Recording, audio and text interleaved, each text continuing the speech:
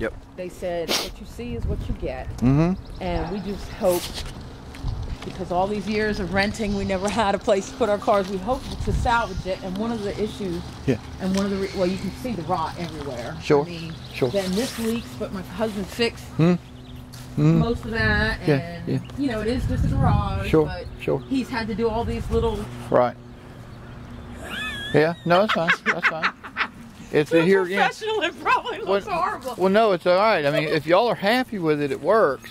And uh, the only thing, like I said, short of it is a little bit of Bondo, and you can make it disappear. And you can buy that at Home Depot. You're saying? Yes, ma'am. What do you call it? Bondo. Bondo. Okay. And then we have lots of wood rot and, Yeah. and Sure. but It's, you know it's, it's- very wet on this. the doors end, are too. rotting. Both garage doors are rotting. This is really a wet pit, which is why we Right. put another willow. The other willow that was here died, but now we know why the owner had a willow here Yeah. because it sucks up all the water. Drinks a lot, doesn't Um, it? And you can see by the grass. Yeah. Um, the city put a ditch here, Yeah. so so close to the property line Yeah. that they had to come and complimentarily give us riprap with all the rocks and stuff to prevent further erosion. Now this is where we really need your expertise because we cannot get back there safely. Sure. Um, our property line goes like to that tree right there across the ditch, but the city owns the ditch. Mhm. And there's some issues going on in the back here that we can't Sure.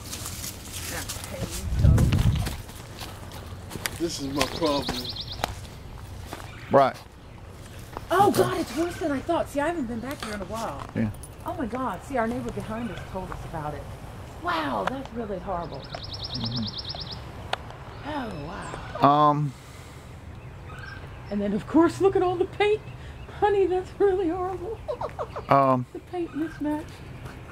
What's gonna happen is that we're gonna take that exterior board off Uh-huh. underneath the shingles, Uh-huh. that one inch board, and that's called a shingle mold. And when that comes off, then we're gonna take the fascia off, which is that six inch board underneath the shingle. That comes on. And then that end cap here, it's it's so thick that what's behind the, the, the fascia board is gonna be basically the end of the rafters Right.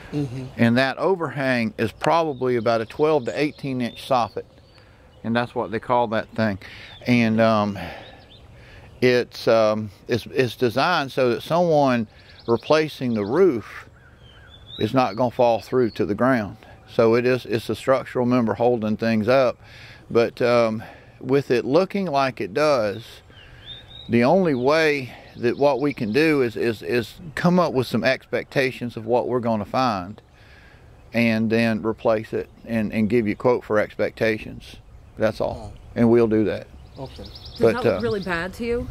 That looks bad. Doesn't well it? it does i mean you know i'm not going to lie to you that it's I it's haven't rotted seen it in a while, but he told me he was It's back rotted. here. It's and, rotted. And this is a perfect day to see it because when the sun is uh, coming this way in the morning, it doesn't look that bad Yes, as far ma'am. as the Sure. paint. Like I didn't realize the paint was that bad because when we ru- you Yeah. know walk the dogs around the block, it Sure. didn't look like it does Sure. to me today.